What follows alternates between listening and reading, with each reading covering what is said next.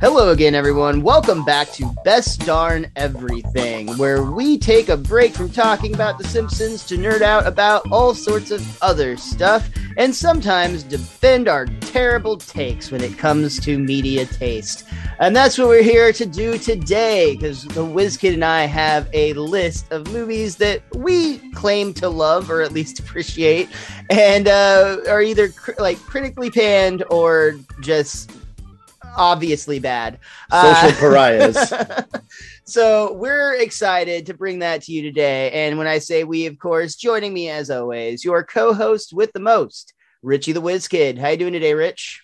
Man, I'm a little nervous because I just want I want all the listeners out there to know that like before we were even recording, Miles was already texting me last night while I'm at work, knowing I can't respond, being like, "We've got to do this, this, this, this." My list is so long at this point, and then even while we're waiting to record, he's still writing down more movies. So like, I'm I'm kind of terrified to see the route that this one's going to take. I guess that's kind of the point. Uh, we we also need to probably talk about like if each individual movie was hated enough to be considered on this list, I would think, because you know, in the moment when you're writing all this stuff down, it may be like, yeah, this one I'm gonna write it down, but then when we talk about it, be like, dude, that one got like a certified fresh score. Why are you putting that on this list?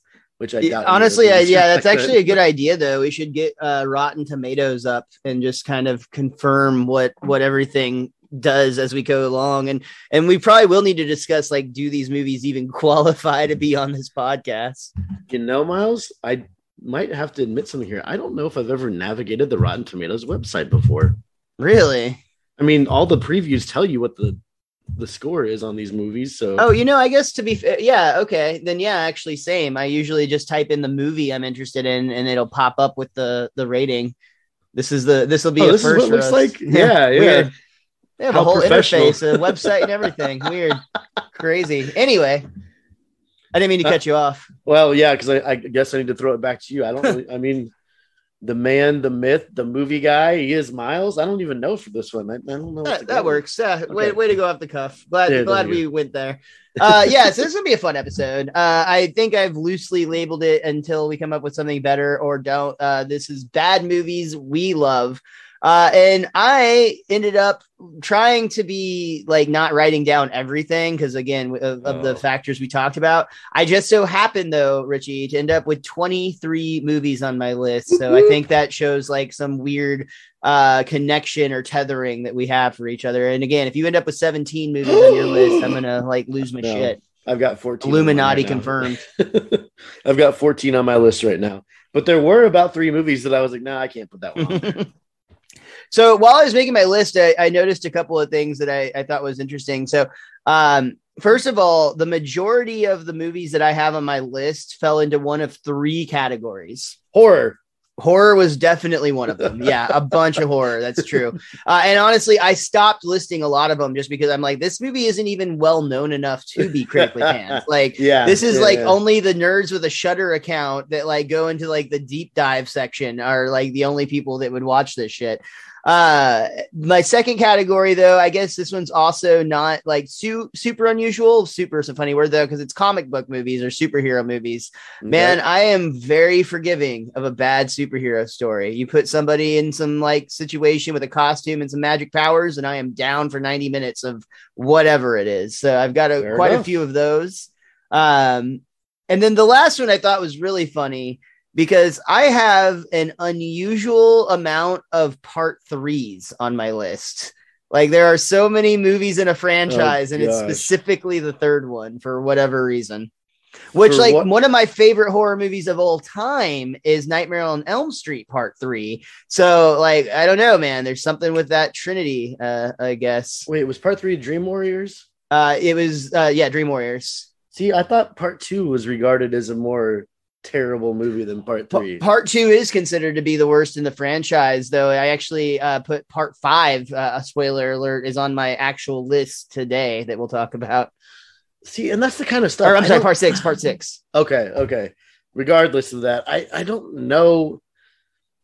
I mean, I guess this is all subjective to how you feel about it. So I don't know if I'd consider any of the Nightmare on Elm Street movies bad enough to be considered on this list. But I guess that's what we're here to talk about. So why don't you go ahead and get us started with uh I guess we could save the nightmare stuff for after we've put some boundaries in on this. Well, let's start with like a easier one. Okay, I actually going. came up with one that I think that is going to be a good starting point for us because okay. it's a movie that I know that you and I both love. Uh, and I'm pretty sure it's considered to be a really stupid fucking movie. Uh, so we'll, we'll have to get Rotten Tomatoes to confirm. but basketball, BASEketball is an amazing movie. Yes, I'm pretty sure it's a beloved film. I don't think that okay. would ever qualify. No, I was going to go with the Kevin James vehicle, Here Comes the Boom, where oh, Kevin James becomes an okay. MMA fighter and he's like a, a teacher that, you know, decides he wants to go the path of the MMA fighters. First of all, does that movie count for this list? And am no. I correct that you love that movie? I, I do love that movie. That movie is I, I wouldn't even consider that a guilty pleasure movie. It's one if it comes on on TV and you happen to have the TV on, which nobody does anymore. Nobody uses broadcast television anymore. Um, you just have to end up watching it no matter what part of the movie it's in. But I feel like enough people went and saw it because it's probably his highest grossing movie ever. and I feel like enough people liked it to where you can't really consider it in that regard. So, what are we going to consider the fresh rating to be where it's a success? Because I, I, just looked this one up. Don't look it up yet because I'm gonna have you guess, and I, I, think it'd be fun to alternate on that. So I'll let you look up the next one. But um, where, where, do we where are we going to call the line for a tomato fresh rating that it's like no that movie's trash and we're idiots versus uh yeah uh, I mean, should we just put it right in the middle and say anything below 50 or above 50? One okay, yeah, the 50 50 line. I think that's a fair one.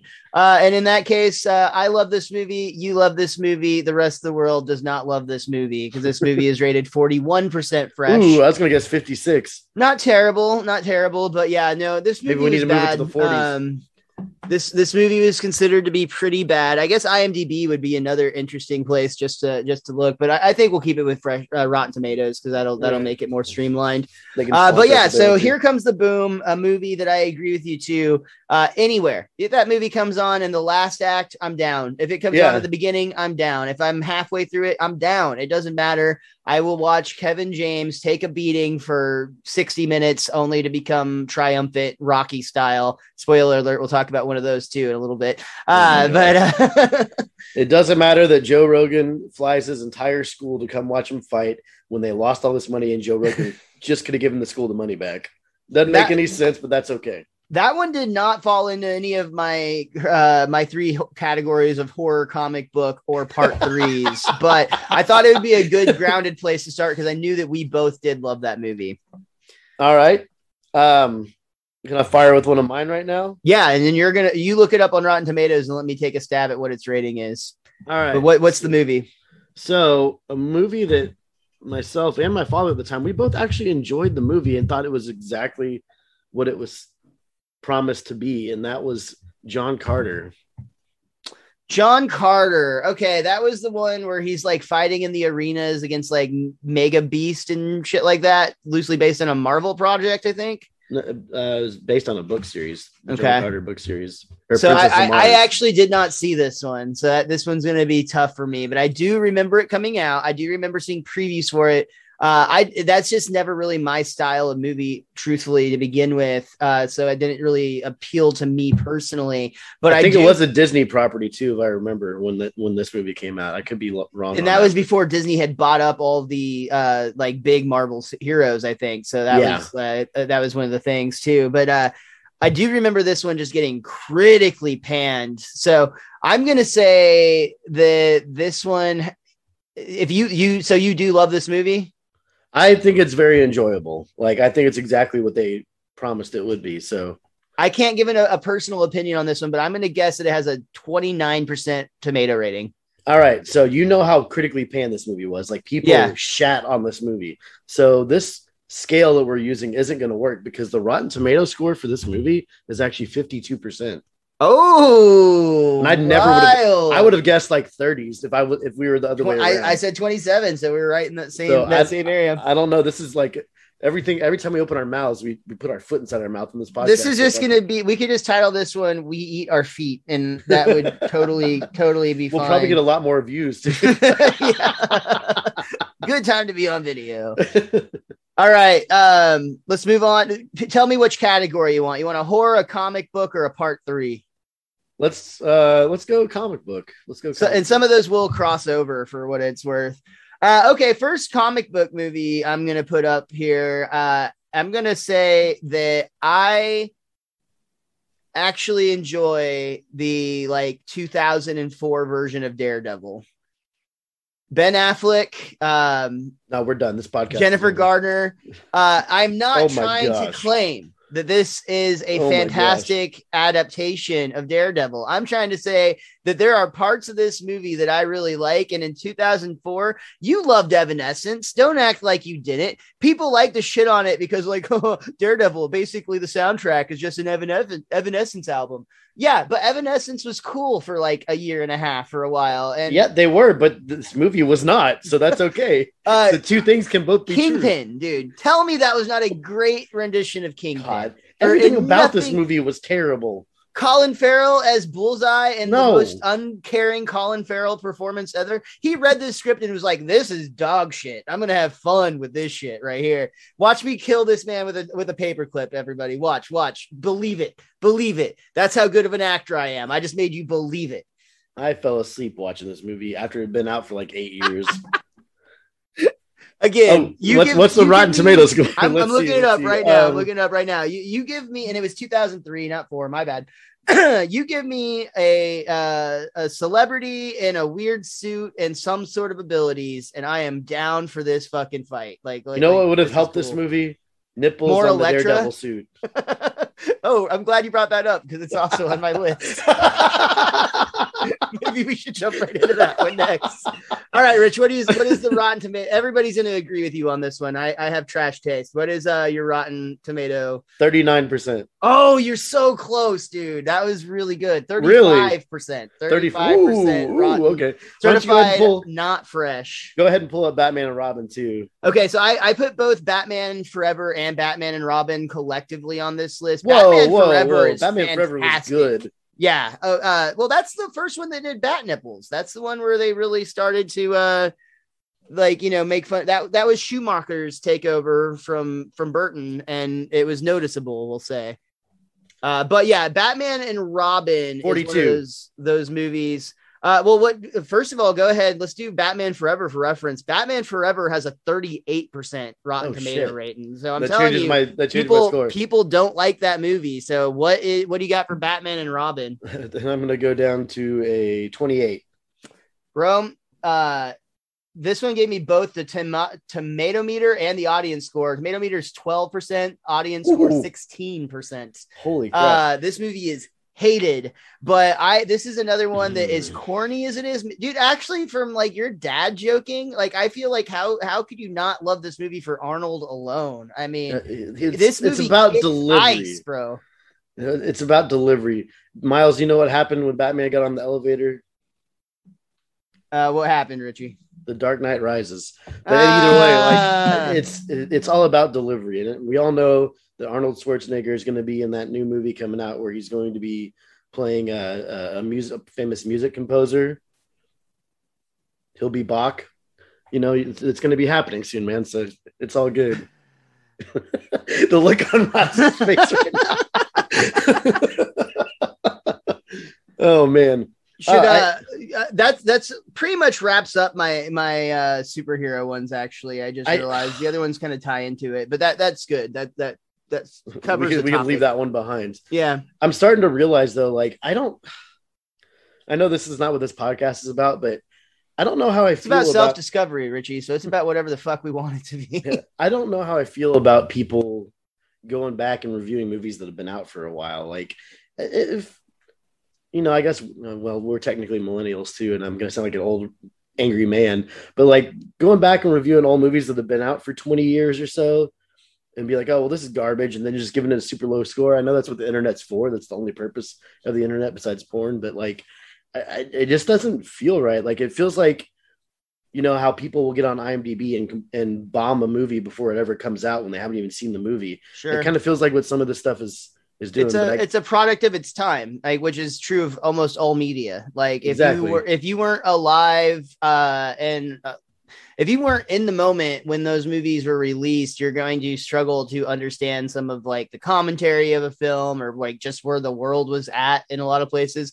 Um, it jumps into another one of my movies that I just uh, spent a good amount of time podcasting about recently. I love the movie Scream 3, which is a pretty despised movie if you look at the ratings really? for that. I had yeah, everybody hates Scream 3, dude. It's the worst one by far. Um, in the in the franchise, but there's like some really good reasons for that. And like going back to your point of like living in the moment, Scream 3 came out in the year 2000. I got one more in. Um, Uh, so I've actually been uh, joining the Camp Slash Horrorcast. It's live on Twitch every Monday at Camp Slash Horrorcast. Uh, we review horror movies, and we just covered Scream this past week. Uh, so I, I, talked a lot about this already, but Scream Three came out uh, in the year 2000 right after Columbine happened in 1999. And the original plot to Scream 3 was very different than the Scream 3 we got. So that one featured uh, Stu, the second killer from the first movie, coming mm-hmm. back, which has been something that has been, you know, talked about a lot recently. Um, but it also featured a very violent climax that took place in the school, in the Woodsboro school. And then Columbine happened, and they were like, hmm, that's not really a great look right now. So they had to completely change that movie in its entirety. But the first act of that movie is fantastic. It has a great opening call scene, which is always fun. Uh, it does the thing where they parody the like the making of Stab, like the the whole thing like happens on a film set that's so super meta. Uh, there's a lot to love about that, and it does admittedly fall apart in the third act, but I still love that movie. And uh, for to your point, that one gets the tomato meter of 41% and the audience score of 37%.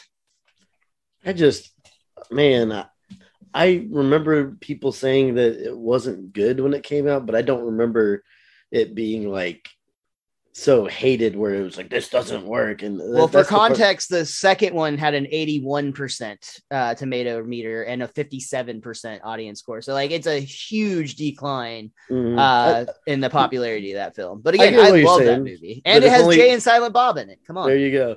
But if only 10 people review it then i don't i don't know if it's like nationally considered that bad of a movie, but it's also horror, so that's also where I'm like, well, eh, this one has two hundred and fifty thousand ratings on it, yeah, so it's a pretty conclusive. No way, Home had that many reviews probably after the first day. That's true, um, dude. Uh, that one actually, I remember though that that one was one of the first movies on my list for this one because I remember distinctly you and I together in Denton at a video store that was shutting down, and we were there buying clearance movies, and like this was at the point that they were selling the shelves, like this place was going yeah. out of business. Uh, and I bought Scream 3 that night. Uh, and the the like person at the video store made fun of me for buying that movie. They're like, "You're buying that trash. It's not even worth the dollar we're selling it for." And I'm like, "Really? Like, I thought the whole point of this was for you to sell off your shit, dude. We're Troy Abed and you're talking to the waiter. Die Hard's not a good movie, man. Oh, All right, man. Okay. let's uh, we gotta get on to another movie. We talked a lot about Scream already. Let's uh, let's get one of yours going. I'm ready me... gets its tomato rating. So I wanna I wanna stay with the Taylor Kitsch movies because you know he went through a bad phase when John Carter came out. So is that, that the came... director of John Carter, Taylor Kitsch? No, the, the main actor. Oh, okay. Don't don't recognize him. I'll be honest. Well, you probably just don't remember the name, and he hasn't really been anything noticeable lately. Another movie that came out after John Carter, Battleship. Oh, dude, and that had Rihanna in it. Yeah, Battleship, critically panned. This movie's been made fun of so much, but when I worked at Blockbuster, people didn't want to rent it at first because they were just like, "Oh man, this has been." Panned on so bad. Everybody hates this movie, but every single person that rented that movie would bring it back and be like, "Oh man, I absolutely love this movie." I mean, it's ridiculous. It's based on a freaking board game, so you can't expect a lot out of it. But like, it's that was when movies, all the man. memes came out that there were going to be all these like uh movies based on board games. yeah, like you know, we're gonna yeah, we're gonna get the Twister board game, which I think is actually happening. But... Oh my gosh. but the, the movie's fun, man. It's absolutely fun. It's ridiculously over the top, like aliens coming to destroy its plot. What's not to love about it, man? that definitely qualifies as a movie that I, I, would agree with you. It's very enjoyable. Uh, I, I, I haven't seen that one in years at this point, and I watched it's it. Got Liam on, Neeson, man. Come I watched on. it based on your recommendation because I too was like, oh, that's going to be so bad. But it's one of those where like if you don't let your brain work too hard and you just like eat yeah. some popcorn and chill the fuck out, you'll have a good time. It's also got Miles, if you remember, Turtle is in it. Oh my god! Yeah. Jerry like first, Ferrara. it was name? like yeah, I think it was his first role after Entourage. I think, or well, Entourage was finished. So glad that that took off for him. Yeah, uh, he was in. You know, he was in a movie though with Shia LaBeouf that I actually remember. I think it was called Eagle Eye. Uh, that that probably could probably qualify for this list. I almost wrote that one down for this, but I was like, no, that one. I think that one got decently reviewed. Yeah, and I remember he was in it at the beginning of that too. uh, all right, let me take a stab at the uh, Rotten Tomatoes score. I feel like that's going to be one where the the like tomato meter is going to be way higher than the or, or the audience score is going to be higher than the tomato meter. The audience maybe. score is higher than the tomato meter. Um, let me say that the audience score on that one is going to be 55 and the tomato meter is 40. So the audience score was 54. Oh, I almost nailed that one, dude. The tomato meter was 34. Okay, that's a little more off. That's actually pretty good. That's collectively seven points off. That's not bad. That's pretty. but that's yeah, pretty the decent. 34. That, that's that's pretty low for a movie. Um, so you can see that there is. Let's see. You did a couple in a row. Yeah, go go for another one. one I want to sure. one I want to save for the end, kind of. But I do want to bring this one up because this one's always a hot button issue to talk about the movie Lucy with Scarlett Johansson. Okay, I remember it's, seeing that one, and I I I didn't really care for it, but it was fine. I I, I want to say that like it's not a movie I necessarily love, but I absolutely love the ending, and that's the part that everybody hated. Like I really really enjoyed all the trippy stuff then, where she just starts going so fast that like she blips out of existence, but is everywhere all at the same time. Like I loved that part. Yeah, I do remember thinking that got really dumb. But not that I'm not. I, am all about more Scarlett Johansson in this world, but like this one, the tomato meter is higher than the audience score. Oh, interesting. So the audience is who shot on this one. Mm-hmm. Um, I'm not with you on this one that I can defend that as a good movie. It's, it, I mean, like again, uh, attractive female lead it, that's a great actress in a really weird plot with a, some decent action, but not a collectively good film by any means. Um, man, I'm gonna say on that one, tomato score is probably like 51, uh, audience 39. Uh, tomato score 67. Okay, and then audience score 47. Okay, so it was better. It got better reviews than I, I thought it would have. That's yeah. That's honestly, that shocked yeah. me a little bit too. Yeah, but for sure. Do you want to do another one, or do you want? Well, if going? you have another one that kind of connects to that one, go for it. Because I don't have anything that perfectly connects there. But if you want me to go, I will. No, um, I could connect it in the sense that you know Scarlett Johansson was in a movie that they talked about being dumb because she was a white actress playing a Asian role. Oh, uh, um, I never saw Aeon Flux. I never saw that one. Not, not I, Aeon Flux. Now you made me forget the name of. Oh, I thought that was I thought that was it. Aeon Flux was Charlize Theron. You're right. Uh, but I was gonna tie that while I sit here and try to think about what the what the movie's called um, into another actor taking a role that people said a white actor shouldn't have, and I think it's actually a delightful movie, and that would be Prince of Persia: The Sands of Time. Oh, Jake Gyllenhaal. Okay. Yeah, I think um, that movie's fun, man. Like another I one understand. I didn't see, dude. Another one I didn't see. Like it, it's a good story. Like I care about the characters. I understand why people are angry. But was that movie hated because it was a bad movie, or because of the backlash of him playing a, a character of a different race? Well, I can tell you right now, man. I'm gonna go ahead. You're not gonna be able to guess this tomato score.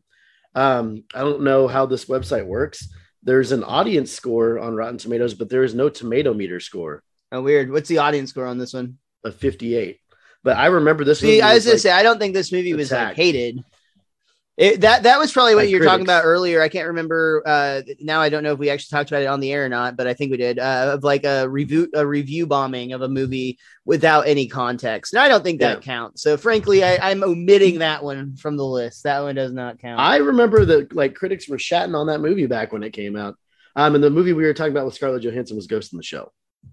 Oh yeah, I didn't see that one either.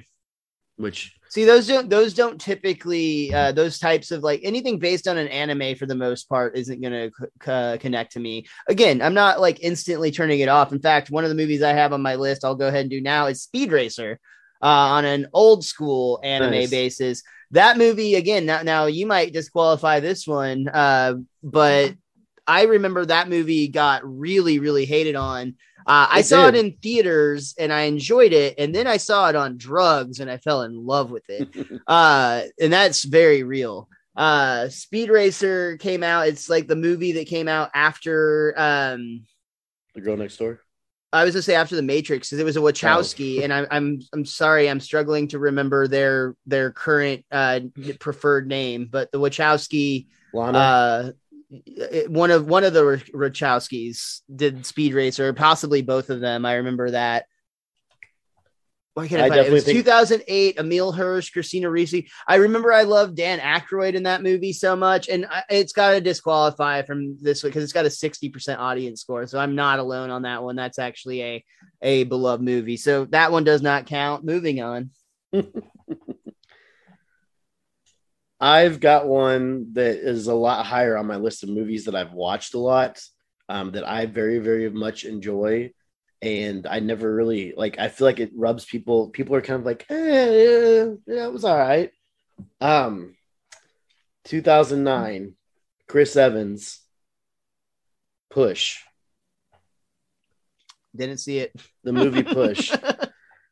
like I don't know what it is about the movie. I love the world. I wish they did more movies so you could see like all these powers with all these people getting people interacting with it more. I wanted to see where the story would go next at the end of it. Like I like the twists in the story. I very much enjoyed that movie, and it's one that it's it's kind of like one of those ones we talked about earlier. If it's on TV, it doesn't really matter what part of the movie it's on. If I see it, I'm like, oh yeah, I want to watch this. Have you looked that one up yet? Because I just yes. did. Uh, yeah, it does have a 23% rating. You're supposed to be guessing. I have I haven't seen the movie. I have no reference to guess it. Yeah, but I told I told you that one. I, am not like if I if I don't even have a chance, I'm not gonna bother. But uh, that one, I, will say, I don't know uh, if this is even remotely close, but the vibes I got, and I just rewatched recently, the movie with Justin Timberlake, Out of Time. I really like that movie a that lot. Was a decent and, movie, yeah. And, and, same thing, I think it did not get like great reviews. I, I feel like it mm, probably got a higher review than Push, but I'm not sure. Let's see. Out of Time. I'm not even seeing it. Oh, maybe it's like Oops. Outa, like O U yeah, what did you type? I, I typed out out of time and it did not pull. Oh yeah, it's so bad that they don't even want us to look at it. Is is that am I like thinking of a different movie? I don't know. no, I thought that's what it was called, but I'm sure it's something else. We'll be able to figure it out. Um, well, either way, that one wasn't even originally part of my list, so it's fine. Yeah. What else you got? I have. Let's see here. I don't know if this one was critically panned, but it's something I've watched numerous times. I think I even might have bought it for you on Christmas, and we might both own it. And it's Let's Be Cops. I like Let's Be Cops. That was that was a fun movie. Um, I don't think you bought that one for me, unless uh, maybe uh, it's in our voodoo. Uh, our Vudu. Oh my gosh, account. this score just yeah, this movie definitely qualifies. Really, it's that bad, huh? Because I, I remember liking it. Okay, if it definitely qualifies with your, I'm talking about toma- tomato score wise. Sure, sure. I'm going to say 19. percent You're off by one. It was 18 percent on the tomato meter. Man, I'm I'm getting pretty close a couple times on these. What did you think the audience score was on this one? Uh, higher. 30. Uh, not yeah. higher. No, it is. I'm just throwing. Uh, okay, uh, 32 percent. 51 percent. Oh, that's a, this, such a big discrepancy. Yeah, that, that bothers me. Well, but that shows you that like not everybody agrees with critics all the time, man. Oh, like, 100%. Critics are often very dumb. I actually really good... like Kevin Smith like no longer lets critics go and view his uh, movies up front just because he's like, dude, I've done that my whole career and all you guys do is shit on me and not pay for a ticket. So, uh, if you want to review my film, buy a ticket and go see it with everybody else. At least I'll make like a little that. more money off of it. Like yeah. and like and Kevin Smith has like a beloved audience of like enjoys his movies, but most of his films get really bad reviews. That's very true. Yeah. But no, man, Let's Be Cops is just like such an enjoyable movie. It's something I don't have to have my brain all the way on to sit down and watch, and it makes me laugh. And you know, Jake Johnson learning how to do some flipping around before he becomes Spider Man and into the Spider Verse. You know. Very reasonable. All right, for the sake of speeding it up a little bit, and we can we can pick and choose if we want to look at the tomato ratings for these. I'm going to do all of my sequels that I have on the list, and there's a lot of part part threes. I already mentioned Scream three, staying in the horror department. Jaws three is and arguably the most enjoyable Jaws movie. Jaws hands down the better Jaws movie, but Jaws three, they're in the Sea World. That's fun. I, I enjoy the hell out of it. Uh, Karate Kid 3, which we just talked about quite a bit on this podcast when we covered Cobra Kai season four a couple weeks ago. But that movie, critically, even Daniel LaRusso hates that movie, but I still enjoy it. But people are starting well. to turn around on it ever since season five or season four of Cobra Kai. That's fair. I also have uh, the Mighty Ducks Part Three or D three, if you will. Uh, again, exist. I watch that movie every time I watch the first two. I watch the third one with it. Is it a worse version of the first two films kind of combined into one? Absolutely. But mm-hmm. is it still every bit of that quack quack enjoyment you want to see all day, every day? Uh, and then these are not these are not part threes, but I put Rocky Five on the list, which I think you're going to back me up on. I, am pretty sure when they train his kid to like street fight, it's pretty wild. uh, and then I mentioned it earlier, but Freddy's Dead: The Final Nightmare or Nightmare on Elm Street Part Six, if you will. Uh, another one that everybody hates. The 3D uh, sequence is like notoriously awful, and the ending is just wacky and silly, and I love all of it. All right, I can I can go along with the sequel train. Uh, I put two movies together on my list. I put Clash of the Titans and Wrath of the Titans, the Sam Worthington movies that came out in like the 2010s. I think I was combining that and the John uh whatever one you said earlier. John Carter. Yeah. Again, dude, didn't see these. You have a lot of movies that I have not seen on your list. And for somebody who loves movies, I mean, but that's okay. Like Wrath of the Titans, Clash of the Titans kind of has the Greek mythology thing going on a little bit, which is why it's in my wheelhouse. Didn't it somewhat follow uh the Odyssey? Somewhat, yeah, yeah, somewhat does. And I actually um, do like the Odyssey, so that's I'm, I'm, surprised I haven't gone around to watch this. It also follows, you know, the old movie that it's based on, um, as well. But you know, uh, Wrath of the Ti- the Clash of the Titans, no Rotten Tomato score on that for the tomato meter. But I know people didn't necessarily love it, but it, it's again one of those just enjoyable, turn your mind off action movies the sequel, Wrath of the Titans, where they had to recast Olivia Wilde's character, even uh, 26% on tomato meters. And to go along with these, there's one other movie that came out more recently that was much more shadowed on than either of those movies. And again, kind of a mythology type thing Gods of Egypt. Gods of Egypt, which I actually own. And it's got, um, oh my gosh, Jaime Lannister from Game of Thrones is the main character. This one was very much hated. Um, maybe for similar reasons of Prince of Persia on, you know, certain people being cast in certain roles. Sure, sure. This one, the audience score was a 37, but on Rotten Tomatoes, because I know you haven't seen this one, uh, the Rotten Tomatoes score 15%. Actually, I, I, would like you to take a stab on what you think the uh, what you think the Jaws 3 rating was. Does not have a tomato meter, but it has an audience score. Ooh, an audience score. Um, we used 23 earlier. Let's use 17 now. It's 17. That's exactly what it is. Nicely done. That's I was exactly like, why is he pointing this out? There's there's a there's a key here. And for what Freddy, Freddy's Dead has a 22% uh, rating, which again, uh, that one, uh, even Freddy fans struggle with that one a little bit. But uh, I would argue that the Roseanne and Tom Arnold cameo alone makes that film worth watching. did you ever see the Monster Hunter movie that came out last year? I did not. we should have prepped better for this one. yeah, I, I, just want to know if you've seen it. I want to see it, how it was received here, according to Tomatoness. Oh, dang. Okay. So Monster Hunter, I guess, probably wouldn't qualify. I got a 45 on the tomato meter. The fan meter, 70%. I very oh, much damn. enjoyed it. Yeah. I very much enjoyed it. It like had a little bit to do with the video games, but a lot of it's about the the people in it. So um, I hate it when movies based on games do that. Like, no, let's go with what the game's about. But it honestly worked okay in these movies or in this movie, excuse me. So yeah, just check that one out, man. I can let you borrow it.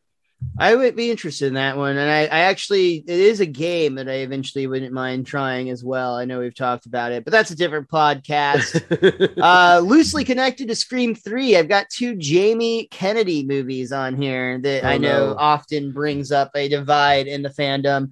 Uh, I have both Malibu's Most Wanted, which I don't know is going to qualify. I think a lot of people love that movie, but I also love kicking it old school, and I of do course. feel like that one's going to qualify for this list. uh, I'm going to look it up because I, I, don't know. But what would you say Malibu's Most Wanted uh, has, and then what would you say Kicking It Old School has? Malibu's Most Wanted was a it was a um, well received, at least with the audience score, uh, and that came out in 2003. 37% on the tomato meter for Malibu's Most Wanted on yeah. the tomatoes. I think you're actually really close. I just it just went away on me, unfortunately. And I'm showing Miles how it's done because I've never actually seen that movie. Oh wow! Or if no, wait, wait, maybe I have. Maybe I, I was gonna say I'm almost. Po- I I used to watch it all the time when we lived together. So I'm pretty I sure you didn't pay attention it. to it. That's fair. Uh, King Kong ain't got nothing on me. Um, all right, what did you guess for tomato meter? Thirty-seven. Thirty-one. Audience score Damn. would disqualify it. I'll give you that. I'll give you that hint. That's okay. That's kind of one of the one of the things about that. So we'll say uh, fifty-four percent. It's exactly fifty-four percent. Oh yeah! Wow, nicely done. Now kicking it old school. This is four years later. Uh, Jamie Kennedy has. Oh boy. this this is going to be a fun one.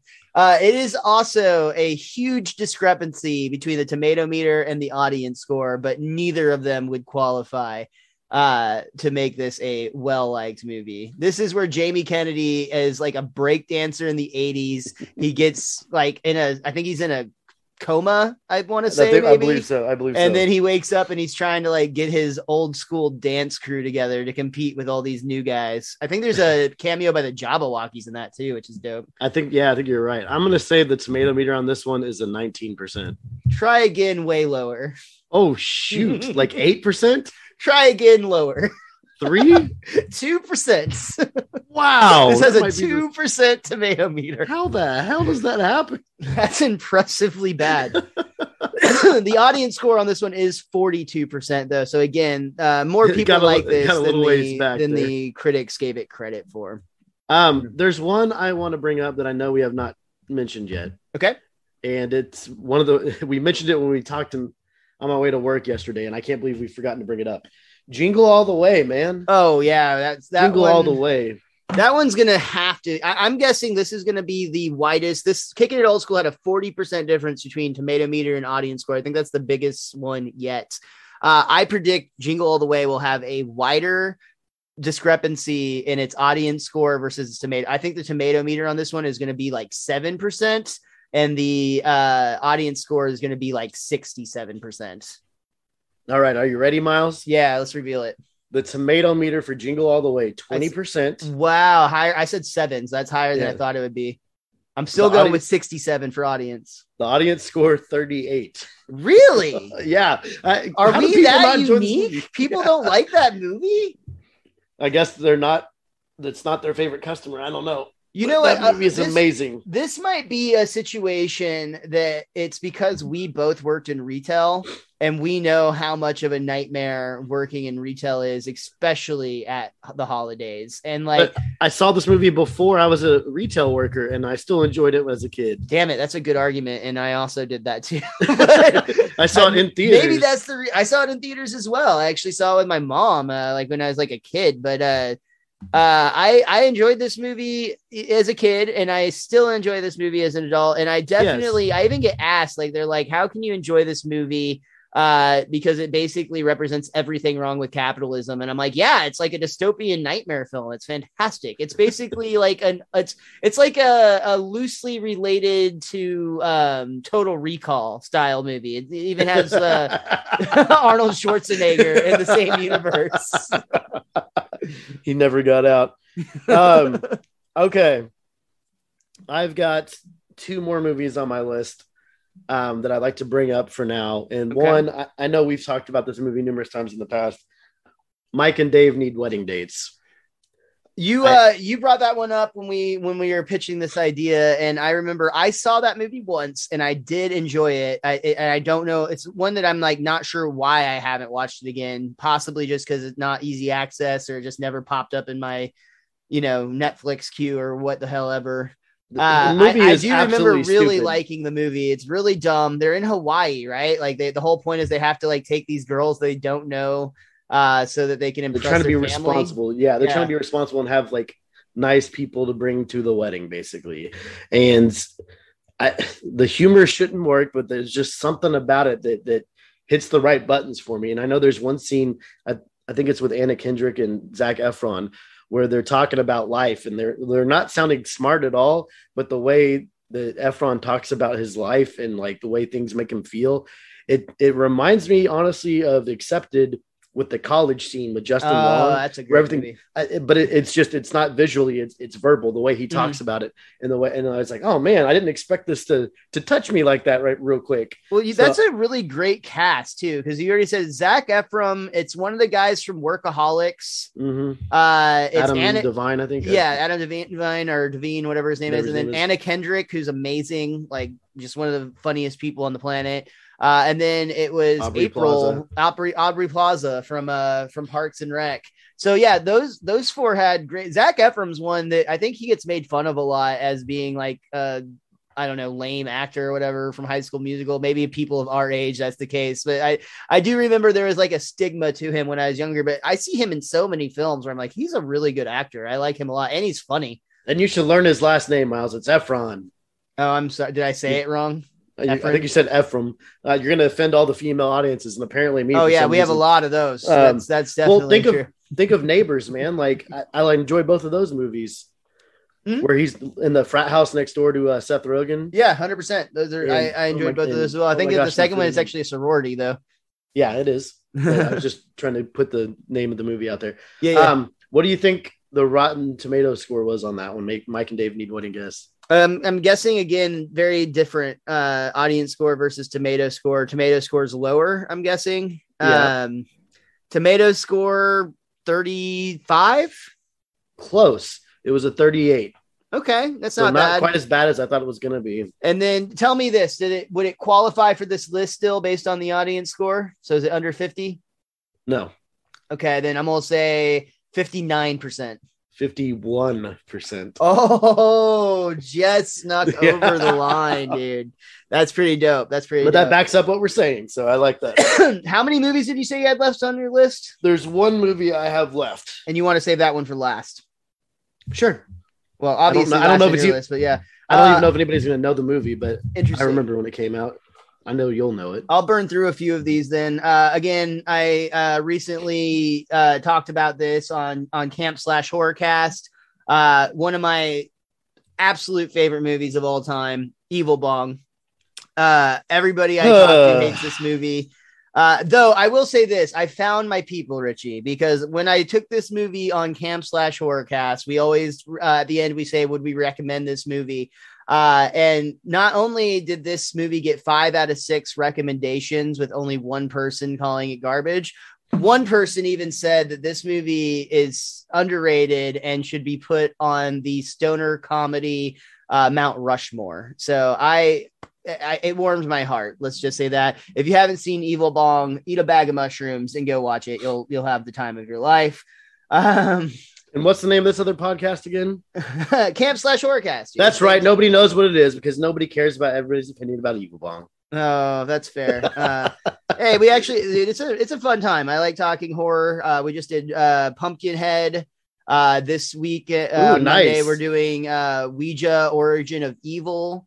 Uh, we're gonna go into a Dracula series next month. We'll review like four different versions of Dracula, going all the way back to 1931, and then Dead loving to, it. Uh, Dead, Dead and Loving. I pitched Dead and Loving it. I said that we should absolutely, if we're gonna do, if we're gonna do Dracula, we should definitely include that in our list. I hope that hope that we go that route. um. Anyway, I said all that to say watch Evil Bong.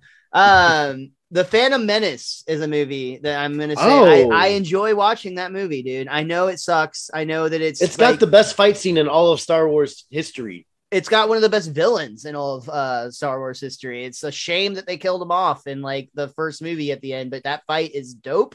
You can really feel it every time. I, what is it? Obi Wan. He keeps getting stuck at those doors that keep yeah, locking, oh God, and just yeah, watching Qui Gon Jinn. Um, the pod racing sequence made one of the best N64 games there was. Fight me. um, like, that tomato sc- scores low too on that game. Uh oh, the the rating for that game. I'm, just I'm sure. I'm sure it was. Uh, it probably. I, I, think I have it, but uh, I, I haven't tried to play it in years. I used to legitimately love playing it. The same with the other Star Wars game on 64. Uh, but yeah, the Phantom Menace is a movie that Star Wars. That's a perfect example of when like a fan base like whines and doesn't get their way, so they just trash a movie. Uh, because that movie's not great in terms of the Star Wars universe, but it's very enjoyable and just like a fun. It's like the Aqua people versus like some forest aliens, and I'm so down for that. I don't know why you said they killed off one of the most badass supervillains or bad guys. I forgot he wasn't really dead, but he was dead to me because I didn't watch. uh I didn't watch that cartoon show. No, no, no, because Jar Jar Binks is the Sith Lord, so like I die. love that theory, dude. Uh, seriously, if you haven't seen that, there is a theory that, uh, and I, I, believe, I 100% believe this is true, and that George Lucas, I'm not even kidding. I think that George Lucas pushed out on this idea because he's like, oh, I got to sell toys. I need that money. But there is so much evidence to suggest that Jar Jar Binks was a, originally a Sith spy. Uh, and like he was just basically last minute change so that he would be like a, a kid friendly toy selling uh piece of character but like there's so much evidence to support the idea that he was actually a sith lord and he was just like intentionally trying to bumble up uh, the rebellion's like plans to take down, you know, the Siths or whatever. Long story short, uh, Star Wars Episode One, according to Rotten Tomatoes, does not qualify for this list because it's got a 52% tomato score oh, wow. and a 59% audience score. I expected that to be much lower, frankly. So uh, I guess that one doesn't count. What's uh, what's the second movie in the new trilogy? Oh my gosh. Oh, I hate that one. That's my least favorite Star Wars by far. Rise of Skywalker's the last one. I still Star Wars still, Eight. I still haven't seen it yet. Um, but the Last Jedi. The Last Jedi. What's the Last Jedi got? No fucking way. Oh, is this it? is disgusting. This is the biggest discrepancy between the tomato score and the audience score, and the tomato score is um, is more than double the audience score. What? Yeah. What is it? Take a guess. The tomato score is going to be a seventy-one. Higher. No way. Way higher. 84 higher. 88 90 fucking one. What? this this website is officially broken. That movie is hot garbage. Uh, the audience score is 42% wow. I've yeah. lost faith in humanity. Yeah i've lost faith in humanity or this website. I'm not sure which. Maybe both honestly. Bart's gonna uh, replay our, our video and be like this is the moment that civilization had its heart ripped out uh, okay, I've got a whole list of arguably bad comedies that y- uh, you may or may not qualify them. Uh, Soul Plane, only DVD that would work on our PlayStation for a while, so we watched it a lot. Uh, Ready to Rumble. Uh, it's, it's, oh, a, God. it's a movie that absolutely shits on wrestling fans, but I still enjoy it a lot. And David Arquette is amazing. Um, The Pest is another one that I think I just saw at the right age. That like I find that one endearing, even though I do admit that he is very obnoxious at this point. Okay. Okay. Uh, and then The Rocker, which uh, wow. Okay. I really like. It's Dwight from The Office, uh, whatever his human name is. Uh, he's like an old he's an old drummer from like this huge mega rock band that gets like kicked out of the band and then joins up with like his nephew's band in the garage and they become like this big sensation. I actually watched that movie when i was sick like a few weeks ago. I was just like on like a binge watching like feel good movies type of thing. And uh and that movie i rewatched and absolutely loved it again. And the soundtrack slaps. It's like they're made up bullshit songs that they make up in their garage. I like it a lot. Fair enough and then again, not sure if this one will qualify, but Hot Tub Time Machine is another movie that I absolutely love to death. Fantastic comedic cast. Uh, I feel like that would qualify. Premise. Absolutely like that. I haven't looked up any of these, so I'd be I'd be curious to see which one of those do you think would be the worst that I, I just said. Probably rocker. You think the rocker will have the lowest? Hot tub time machine should be lower, but I, I feel like for some reason rocker's speaking to me. Hot, Hot tub time machine has a 63 tomato and a 56 audience. The Rocker, which had Rainn Wilson as his name, and Christina Applegate, who I love. Rocker's lower at a 41% tomato and audience at 46. So that's the closest those two have been to each other. That's that's mm. that's saying something, right? Yeah, there you go. There you go. what else did I have on that? No, oh, Soul Plane. I actually think Soul Plane is a good movie. So I, am gonna say Soul yeah. Plane gets a high rating, and I'm I, I think it's like that's one that almost qualifies, like we talked about, that doesn't qualify for our list today of like it can be so bad it's uh good but actually soul plane has no tomato review and it has an audience score of 51% so it just i feel like people enjoy that movie for what it is by. yeah i think so and I think so. Then you said the pest was the last one. Oh yeah, the pest. The pest is going to have a low rating. I, this one is going to be like, wow. Uh, there, I'm pretty sure our listeners like are worried that if I'm left unsuicide or left, left unsupervised, I might like choke on my crayons or something. Oh. oh, uh, well, we had a two percent earlier, so it's not bad. But actually, this is the biggest discrepancy in uh, audience score, even bigger than the Phantom Menace. Tomato score is eight percent. What do you think the audience score is? Uh, forty-nine. Higher. Fifty-six. Sixty-eight. Damn. Yeah, honestly, that one uh, that makes me feel less stupid than I thought I was. So that's there you go, cool. man. Yeah. All of America's just as dumb as you. yeah, that's oh. it's funny because it's true. It's funny because it's accurate. I'm getting real close to with my list, and I know you only have one. Uh, another Halloween favorite of mine that is going to have a terrible, terrible score. It's not a horror movie; it's a comedy. Uh, it's the only PG-13 rated Nickelodeon film ever made. It's called Fun Size. I watch it every Halloween. Oh yeah, that's a cute movie. I enjoy the hell out of it. Honestly, it's got a little Spider Man in it. It does have little Spidey and uh, the dude from uh, Why wasn't he Valley. in No Way Home? that would have been a great cameo. Uh, the dude from uh, from Silicon Valley, who I'm blanking on his name. Uh, Thomas Middleditch or whatever. Yeah, he, he plays like the convenience store clerk that like That's helps right. Spidey out. Yeah, and they have like a little adventure. And actually, uh, who it's Johnny Knoxville is like the bully. I think like yeah, the, that like the boyfriend bully or whatever. Uh, that one, uh, Rich, it has a twenty five percent tomato score. What do you think its audience score is? It would qualify for our list here today. Uh, forty four. Close, forty seven. All right, all right. All right, last one that I'll do, and then we'll we'll we'll end with yours. Uh, let me go through and make sure I didn't miss anything. I also had Rocky Five on here, but I kind of casually we, mentioned we talked about that. Yeah. yeah. Um, the last one I have on my list, I absolutely adore this movie, even though I recognize that it is very very flawed. And honestly, uh, learning about the behind the scenes uh, of this movie uh, makes it also enjoyable. The Super Mario Brothers from 1993. Ooh, yeah. I feel like at least a lot of people our age actually say that they enjoyed the movie for what it was. Um, even though it was not the Super Mario that we were hoping it would be going into or it. Or any Super Mario that we'd ever received before. Yeah. I'm gonna say this is a, gonna be a super tough one. Oh, let me give you a, let me give you a quick hint. Okay. The tomato score and the audience score are one percent away from each other. 27 and 28. Oh my god, dude! Twenty-eight and twenty-nine. oh, I almost answer. said that. You were Damn. almost there, dude. I you were almost, almost there. Wow, oh, that's changed impressive. my mind last second. But yeah, there, there's a lot to love about that. I mean, like if you look at the actors, if you just look at it's Bob Hoskins, uh, Leguizamo, I can't. The past. Yeah, yeah, actually. uh, Anthony Hop is it Anthony Hop? No, who's the no. uh Dennis Hopper? Dennis yeah. Hopper is Koopa.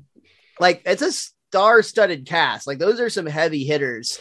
Uh, and and Dennis Hopper in that movie, like it it there's a lot of behind the scenes story now where like him and John Leguizamo are essentially just hammered drunk the entire movie because they are so sick and tired of the directors. Uh, there's actually a scene where John Leguizamo is wearing a, a cast on his hand because he literally got like messed. Or I'm sorry, Bob Hoskins is wearing the cast. It's because John Leguizamo is drunk as fuck and he had to drive a van and he accidentally like basically uh, hit the brake in a way that it made it the door slam on Bob Hoskins' hands.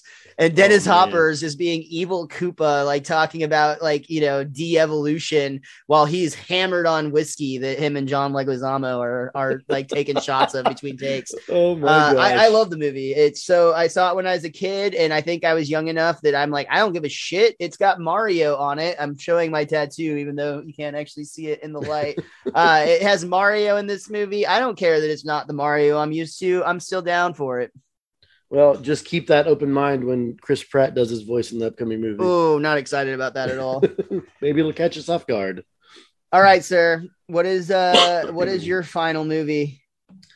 Again, I don't know if this one was seen enough to constitute this, but it is a movie I absolutely enjoy. It's got Guy Pearce in it, and I always call it Die Hard in Space.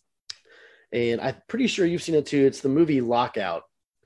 Die where... Hard in Space. That's a very, very good, uh, very good description of that film. So, for those that haven't seen it, the there's a prison on the moon, and the president's daughter goes up there because she's doing re- rehabilitation work. And of course, while she's there, prisoners escape. They get some of them get de-iced, and this, all these serial killers get out, and they take over the prison. And it all and happens get... on Christmas Day. without Christmas music for some reason. But Guy Pearce is sent in basically to go retrieve the president's daughter, but he has other reasons that he wants to go up there. So it's really stupid dialogue, fantastic action, lots of people getting shot, things that don't make sense. Um, both of the scores on this one qualify it for this list. Uh, they're not far off, but they're definitely not close. Not, not far off, but definitely not close. Uh, I'm assuming this is going to be another one where the audience is higher than the tomato. Yes, you you did see this movie, right? I did, yeah. Okay. Um, I don't remember loving it. I remember thinking it was like, oh, I think I'd rather watch Die Hard or or Alien. It's definitely uh, or Alien Three because Alien Three go. is the one where it's like a prison uh, colony escape. but uh, that one's that's also another movie I could have put on this list. Uh, um, let's say that the tomato meter on this one is 31%. 37. Okay. So not too bad. Uh, and then I'll say 44%. No, no, you said they're a little bit farther apart. 49. Well, you're, you're on the right track. Okay. 47% for, uh, for the uh, audience score. Every time you stopped with that, it, uh, the audience score was 46. Okay. I was right there in between. So you were 40, close. Yeah. You were close. But yeah, yeah that's, there's something about that movie. It's a definitely a definite guilty pleasure movie for me. Guilty pleasure is a good a good word for a lot of the movies on on this list in general. Yeah. Uh, and then I think like you kind of touched on it earlier, but that's also another one of the beautiful things about movies. Like I don't want to get too like hippy dippy here or whatever, but like movies are we, we talked about how it's like if you didn't see the movie at the time that it came out, you're probably going to miss things. And it's kind of weird that you might be bombing a score on a movie that you were born in, say, 2003, and a movie you're reviewing was like in 1995 or whatever. Like that's that's weird. There's there's a weird factor that, but ultimately, a lot of times I think movies are meaningful to us more so because of like where we were when we watched them uh like you know the memories that are invoked because of the films. I know that for you uh both you and I have seen a lot of movies together in theaters, and more before that, you and your dad have seen so many movies in theaters, and I know that that you know definitely affects your your memories and the impact that they had on you. And same for me. I remember a lot of the films I saw with both my parents and friends, like Mario Brothers. I remember distinctly we rented it from a blockbuster uh, sometime in the 90s. I had a sleepover. I lived in Topeka, Kansas at that time, had a sleepover with a bunch of friends hanging out in the basement. And, you know, we had candy and popcorn and Cokes and the Super Mario Brothers. And we all fucking loved it because we were eight and didn't know any better. And it's still Yoshi cool to watch cool. that movie and be like, oh, yeah, this is that movie I saw when I was like eight and kind of dumb, but like had a real good time with it. And we played glow in the dark football like afterwards, yeah. stuff like that, you know? Well, it's just with most of the movies and the internet, I'm I'm concerned with how people look at the past and review it. And I was going to point out, like, what if people, you know, around their 20s right now go back and review like Blazing Saddles today? What's going to happen? Like, it's that movie can't be made. I'm going to tell you, it's not going to go well, Richie. yeah, but to be fair, I just looked up the Rotten Tomato score on Blazing Saddles. No tomato meter. The audience score. Do you want to guess what the audience score is? 87. 91. Oh, so wow. maybe maybe that throws what our fears out the window there. Maybe there's enough of people on both sides where it kind of evens out. Well, you and I are older millennials, so we were both born somewhere between like memes and meh, and a lot of people have uh, have that opinion on on movies that they're just kind of out of touch with, I guess you could say. And that movie is out of touch. It could yeah, not be made absolutely. today. Uh, but that does not take away from the comedic genius that it is and was. Uh, and again, I've said it already, and I know this is a divisive term, but I, I do genuinely believe in things being a product of their time. Uh, and a lot of people like to take a 2022 lens to judge something that was made in the 1960s, and that just isn't fair. And does that mean that that was correct or right? No, absolutely not. Life was really shitty for a lot of people, and the further we go back, the more that's true for more specific marginalized groups. But again, entertainers at that time aren't bad people because they were bringing light to these things. And if people want to take that kind of lens to it, there's a lot of people in our modern times that are having really shitty lives still. So you know, a hundred percent. Yeah, yeah, yeah. 100%. Put that lens right back in your own face too. Yeah, most of us. But yeah, uh, dude, this was fun. I had a lot of fun doing this. Yeah. This was really cool. Uh, I also would love to hear if anybody listening to this has bad movies that they want to defend, and uh, you can you can hit us up with those on Twitter. Uh, you can follow Richie at the Wiz underscore kid 23, and you can follow me online at Mr. Most Days Off. That's pretty much everywhere. You can follow our show at Best Darn Diddly. Not everything, Best Darn Diddly. That's D I D D L Y.